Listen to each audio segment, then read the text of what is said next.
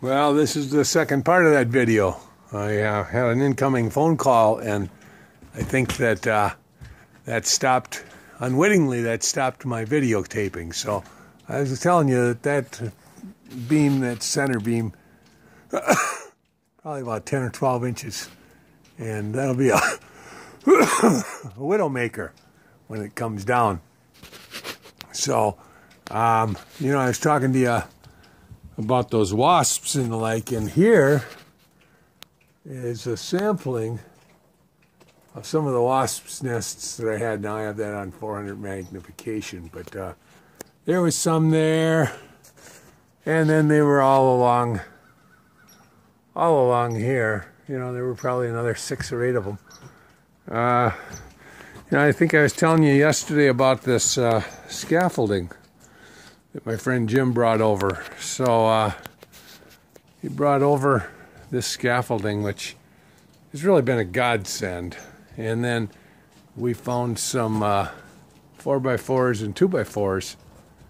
And uh, we, uh, we clamped them up here and uh, made, a, uh, made a nice platform where Jim's 120 pound frame and my 280 pound frame are holding over 400 pounds of junk. So uh, we strapped it down good. This is probably the safest thing that you could find for this type of thing.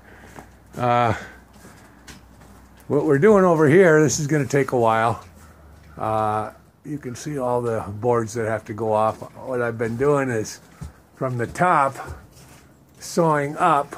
You can you can see that my saw cuts and uh, what we then do is I get up there and start pulling off shingles and the like. And uh, so hopefully we get this down today or tomorrow. Speak of the devil there's my friend Jim. For all my friends out in California this is the way we dress in January.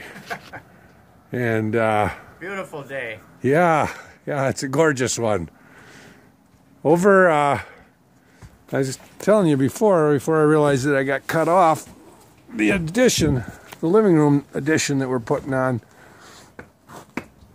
will come right from this window. Uh, it'll come straight out and uh, come out about about where Jim's standing right there, and then down to the end of the railing.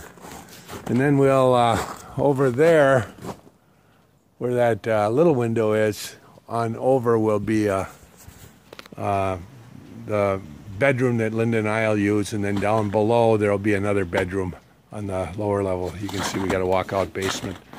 Uh, our uh, sun porch, screened-in sun porch, will be from this window on over to about the second window there and uh, that'll be about 27 feet and come out about 16 or 18 feet. So that'll be our sun porch.